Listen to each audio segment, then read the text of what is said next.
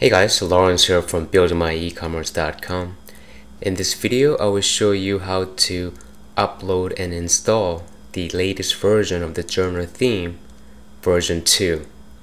So here I have the fresh installation of the OpenCart installed and I want to replace this with the journal theme. So I'm using the file manager which can be found in the cPanel while you're hosting the web store and I'm just going to upload the theme. So uh, on my desktop here I have gone ahead and downloaded the zip file from themeforest.net let's go ahead and double click on the file to unpackage the zip and go inside the journal download folder and inside the journal folder here and you have five folders in here. Admin catalog image system in VQMod.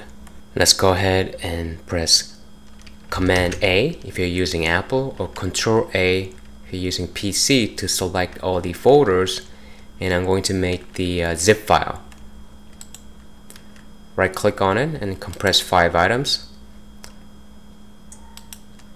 And I'm doing this so that I can just upload one file to the file manager. So I'm just going to rename this journal 2 and then let's go to the file manager and then click upload. Choose file. And then go inside the journal download folder. And I'm just gonna select the zip file which I just renamed. Click open. Okay it's complete. Go back. And select the zip file and then click extract here at the top. Extract files. Click close. And that's it for installing the journal theme. Now we have to go to the back end and activate the theme